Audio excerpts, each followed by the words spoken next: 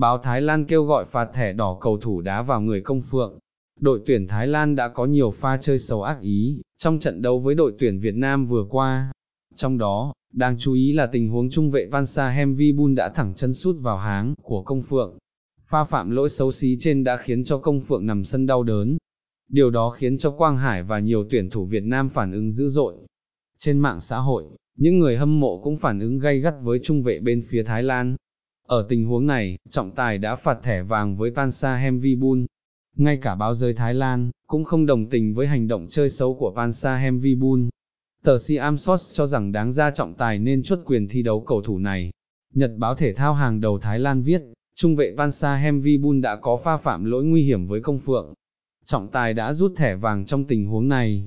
Dù vậy, nếu như công nghệ va được áp dụng thì Pansa Hemvibun xứng đáng phải nhận thẻ đỏ.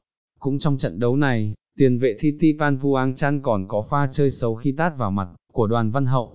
Thậm chí, trong tình huống này, trọng tài còn bỏ qua lỗi của cầu thủ đang thi đấu ở Nhật Bản. Trong những năm qua, bóng đá Thái Lan đang cố gắng xây dựng hình ảnh bóng đá đẹp. Dù vậy, những cầu thủ của đội bóng này lại không giữ được bình tĩnh khi bị đẩy vào tình cảnh khó. Còn nhớ, ở trận đấu giữa U23 Việt Nam và U23 Thái Lan, Supa Chai cũng nhận thẻ đỏ vì chơi xấu với Đình Trọng. Hát Long, nhớ bấm đăng ký theo dõi để nhận được nhiều thông tin mới nhất.